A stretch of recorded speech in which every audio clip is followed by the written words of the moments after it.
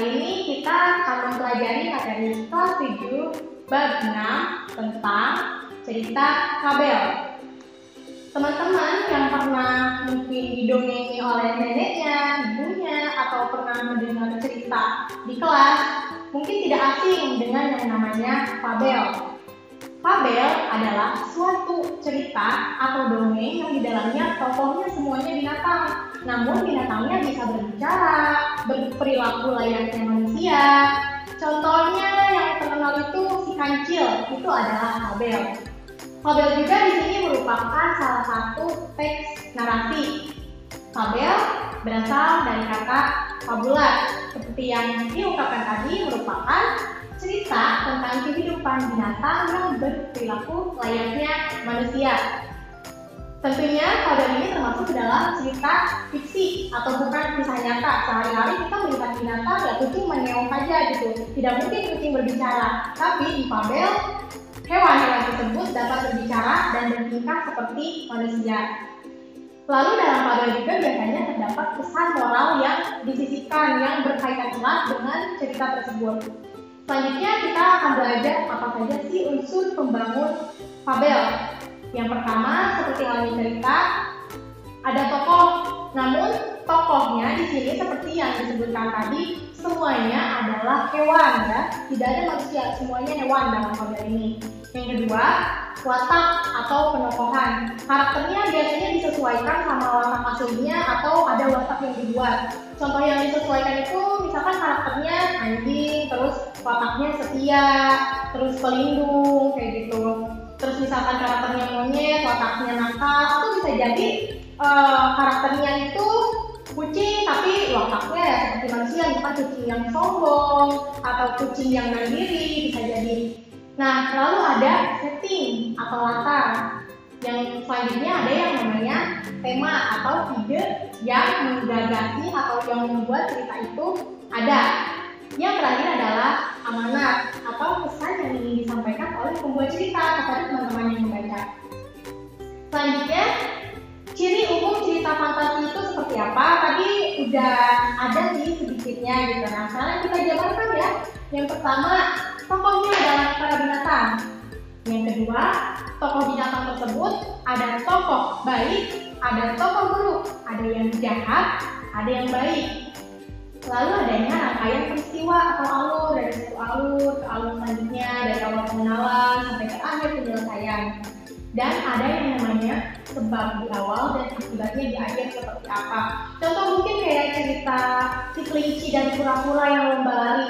Kan di awal si kelinci itu terlalu meremehkan kura-kura gitu sehingga dia bisa tidur terlebih dahulu karena menganggap kura-kura itu larinya ya lambat gitu. Nah di akhir akhirnya dia salah kan, contohnya seperti itu. Lalu latarnya itu selalu alam, entah di hutan, entah di kolam ya yang memang habitatnya binatang di mana latarnya itu modelnya seperti itu dan memiliki ciri bahasa tersendiri. Setelah belajar ciri umum, ada jenis-jenis tabel. Pertama, ditinjau dari latarnya atau tempatnya ada dua jenis tabel. Satu, fabel alami. Jadi yang dimaksud fabel alami ini latarnya itu benar-benar di alam. Contoh, ikan kan hidup di air, berarti mengambil ceritanya juga di dalam air itu latarnya karena dia ikan. Sedangkan ada fabel adaptasi. Contoh fabel adaptasi itu misal eh, ya dia ikan tapi diceritakan ikannya di sekolah gitu atau rumah nggak di air gitu nggak di kolam itu namanya fabel adaptasi. Selanjutnya jenis fabel berdasarkan kemunculan pesan atau amanat. Ada fabel dengan koda ada fabel tanpa koda. Fabel dengan koda itu amanatnya itu secara langsung dituliskan di akhir cerita oleh penulis atau pengarang. Nah, sedangkan yang tanpa kode itu biasanya tersirat, jadi tidak dituliskan, tapi dapat kita simpulkan nih di akhir cerita itu e, dari awal sampai akhir apa sih amanat yang dapat dipetik dari cerita ini. Selanjutnya adalah unsur intrinsik yang membangun tabel. Yang pertama pasti ada judul, judulnya misal sekancil. Yang kedua ada yang namanya latar seperti yang tadi disebutkan bisa jadi di alam, di. Lalu tokoh terus ada penokohan atau karakter dari tokoh itu sendiri, ada alur atau disebut juga rangkaian peristiwa, sudut pandang, dan yang terakhir adalah amanat yang ada di dalam modal. Setelah unsur intrinsik, kita akan mempelajari struktur fabel. Dalam fabel akan dimulai dengan orientasi. Orientasi yaitu pengenalan tokoh, wataknya seperti apa. Nah, setelah orientasi ada komplikasi. Di komplikasi ini uh, masalah mulai muncul gitu, mulai ada pertentangan, persoalan, lalu ada yang namanya resolusi. Di resolusi masalah diselesaikan. Setelah resolusi ada koda, yaitu penutup yang di dalamnya biasanya terdapat amanat yang ingin disampaikan oleh penulis cerita. Selanjutnya, kaidah kebahasaan di dalam tabel.